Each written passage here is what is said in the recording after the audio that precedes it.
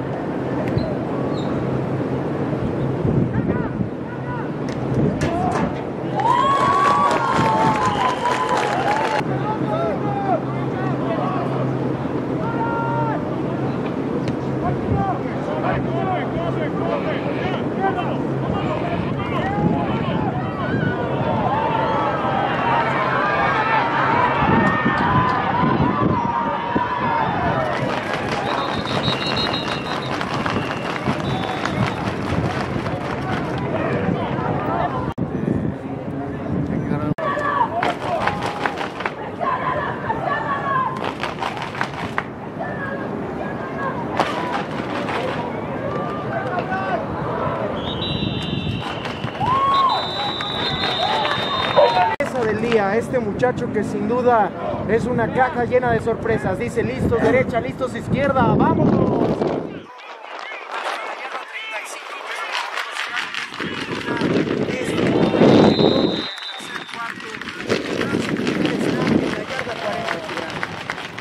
Sigue la pelea por la titularidad para la temporada regular y Margarita tendrá que probarse en este momento. Atención que viene la carrera del lado derecho, mantiene el acarreo el corredor número 45.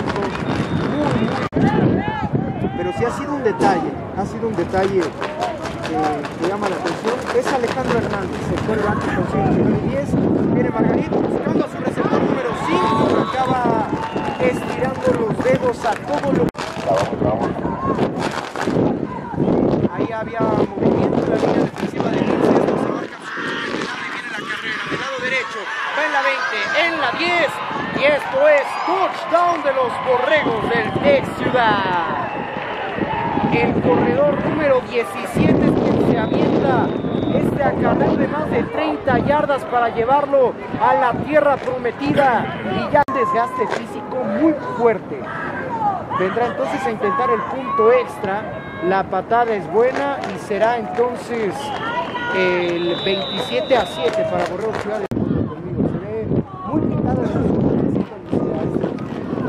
Correcto, son seis equipos de Los que participan. Se integran solamente Águilas Blancas y Linces Lomas Verdes por parte de escuelas, digamos, con una y a los auténticos, que bueno, son los eternos contendientes en ese modelaje. Viene Marco del lado izquierdo, quiere romper la jugada, pero acaban saqueándolo de manera espectacular. Y justamente es Leonardo Valdés quien completa la que nos acompañen en este encuentro. Será segunda y 10 para Linces Cuernavaca. Solo hay un hombre en el backfield. Van a buscar a su hombre de toda la vida, Gabriel, que busca romper el primer contacto, pero ya, ya lo veo cansadito. Así deberíamos mandarlo quizá un par de series a la banca. Pero pues bueno, los entrenadores sabrán más que uno. Viene Marco, quiere mandar un pase largo del lado derecho, es interceptado y vendrá entonces el jugador número 28 de los Borreros del Tec Ciudad consiguiendo su primera intercepción de la noche. Volaron pañuelos, Gibran, ¿de qué se podría tratar eso de Borreros? Porque parece eh, desde el ángulo que tenemos que lo jala de la hombrera y es justamente el juez quien determina que no solo se llevó la hombrera, también hubo ahí un cachito de barra en el tacleo. Viene Margarita, está presionado, rola del lado derecho, manda el pase a la 40 y es completo. ¡Oh, oh, oh! Lo soltó de último momento, se avientan por la papa caliente. ¿Y quién se lo va a quedar? ¿Quién se lo va a quedar? Parece que por avanzar. Y ahí está el corredor bajando el balón al corredor. Por el centro del campo empieza a encontrar un espacio y en esta carrera consigue 8 yardas para los Los 50 ya en territorio de los linces. Viene Margarita, el pase por izquierda es completo y rompe el primer contacto. El segundo se escapa a la 30, a la 20. Míralo correr a toda velocidad. Eso es un touchdown.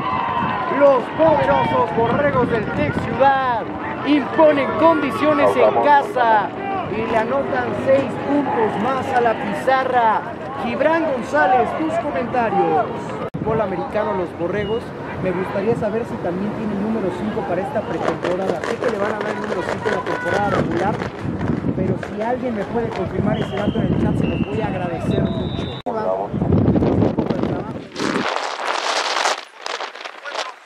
al final de cuentas, entre tres cuartos hubo dominio azul por parte de Ciudad de México. Cuarto cuarto un poco accidentado, muchos jugadores acalambrados, 16 jugadores de Ciudad de México con ese malestar. Y esa Así es, un hecho también que eso es bueno que suceda en la pretemporada porque te da la posibilidad de poder medir mejor eh, a tus jugadores en cada cuarto. En Liga Mayor es algo muy situación que contempla por supuesto eh, las doctoras y todo el staff de cocheo. Atención con el pase completo por de los 15, primero y 10 para la visita en la yarda 50 Gibran. Gibran se mantiene marco en los controles para los Princes de la Universidad del Valle de México, Campus Cuernavaca. Y es justamente Marco Antonio López quien rompe la jugada, se mete al centro de la línea lo acaba frenando antes de la marca. Vamos. Fueron tres hombres de azul los que lograron hacer el contacto. Vamos, vamos. es correcto porque bueno ahorita se están mandando maquilar todos los uniformes de temporada regular, visita y local. Así que ahorita se pueden ponerse temporadas atrasadas para poder cumplir con el compromiso del jersey de visitante. Aquí este pase completo, cerca a una yarda del primer nivel de Vinicius Cuernavaca. Marco Antonio López se ve presionado en la jugada y tiene que mandar el pase compañeros de juvenil. Marco Antonio López tiene dos jugadores presionándolo, manda un pase flotado al fondo y acaba el back con el número 15 y luego tienes jugadores de Linces que no traen número. Es de verdad que a veces es complicado andar descifrando quién hace qué jugada. Aquí es bastante malo, acaba por lo menos 5 yardas. Es el corredor número 23 que intentaba salir del la segunda y largo, Viene prepara. Marco Antonio López, el pase largo al centro interceptado, damas y caballeros. Es cortesía del jugador 28 de los Borregos del Tex Ciudad y se quiere escapar del lado izquierdo. Acaban completando el contacto en la yarda 50, pero la fiesta por parte de la afición de Borrego se hace notar y suena el nautilus. Un gusto, un saludo. Viene entonces Margarit nuevamente en los controles. Manda el pase largo, flotado. Ander está solo, solo, solo se quedó y solo anotó. Touchdown de los poderosos borregos del Tex Ciudad. Y en la recepción, Ander Ruiz nos regala una obra de arte pintada a manita, damas y caballeros. Y se lleva, si no me equivoco, su tercera anotación en el partido. Ya fallaron uno en el primer cuarto. Parece que van por su segundo. por- El hecho de que Cuernavaca le den seguimiento al fútbol americano también es valiosísimo. El bote acaba yéndose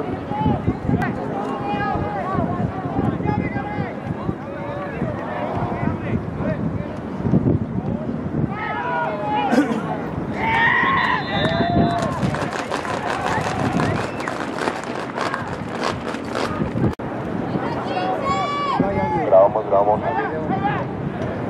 Ahora se persigue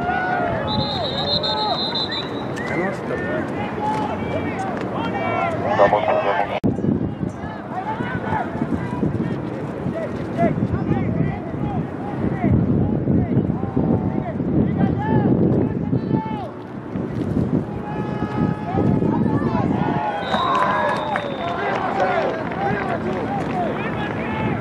Pausamos. Regresamos. Ya estamos de retache, una disculpa por los problemas técnicos. Quedan tres segundos para que termine el tercer cuarto y van a dejar que se muera el reloj, por supuesto. El oficial acaba, recuperamos la transmisión, recuperamos, sí, un bolillo para el susto, ¿no? Después de pensar que... Y un cafecito. Y un cafecito también, ahí pensando que nos íbamos con todo y andamio. Viene entonces la patada, no habrá regreso, hay contacto, lo puede recuperar el equipo de Linces. Finalmente es el jugador número 25 de los Correos de Texas quien recupera, pero la vuelve a soltar. Y hay un tumulto de gente en la yarda 18. Lamentablemente acá la jugada empuja esta situación, pero bueno, ya el jugador sale flotando afortunadamente, se mueve por su propio pie en la banca y ya, ya va con Marcelino para que lo atiendan. El pase del lado derecho. Me están escuchando. Y en breve estaremos entonces platicando con ustedes. Viene el acarreo por el centro que me parece que llega registrado en el, En breve les conseguiremos el dato de quién se trata y vaya. Acá Lince se va con todos los nervios vibran, no hay que parpadear en este deporte, entonces será tercera Vamos, oportunidad. vamos. Media distancia por avanzar.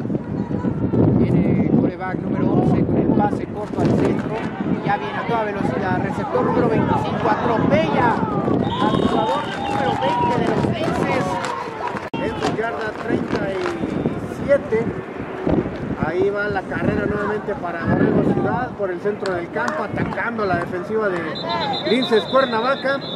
Un avance de unas 6 Vamos. yardas para Borrego. Y termina nos escribe desde Facebook.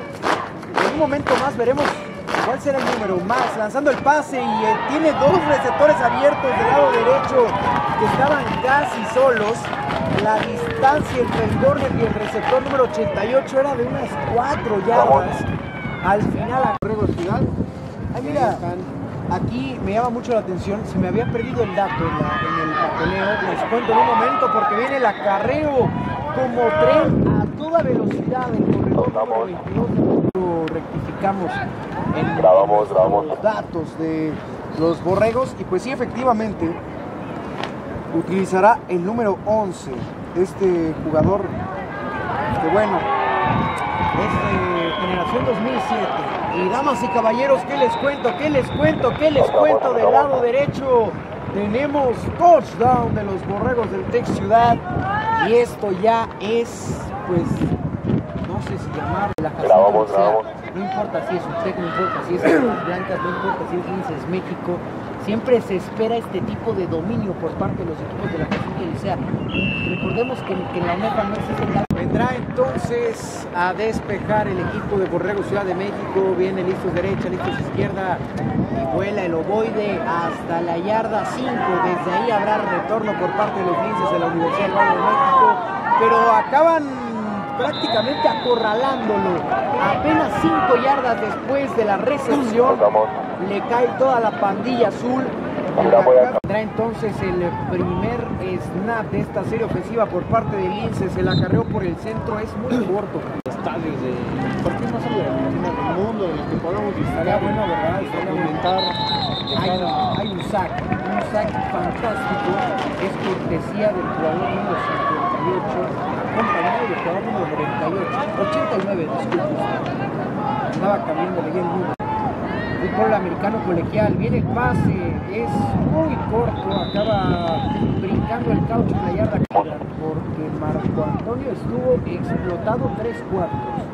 No salió ni un momento al ofensivo. Viene a entregar el ovoide del equipo de Cuernavaca y habrá regreso desde la yarda 55.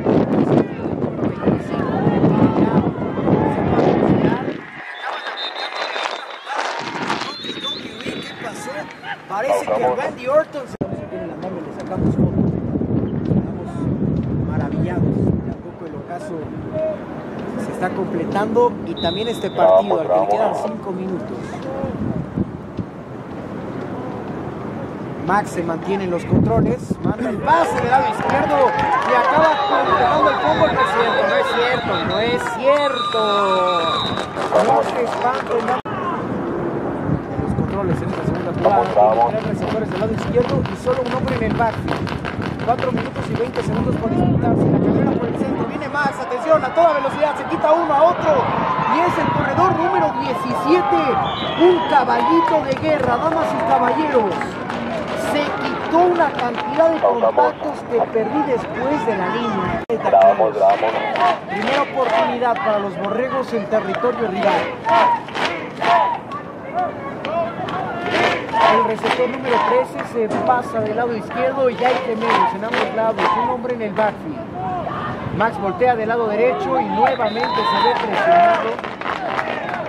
No consigue armado el Tec Ciudad de México para esta temporada, que sin duda hay que hablar al respecto. Viene el pase al centro, incompleto, damas y caballeros.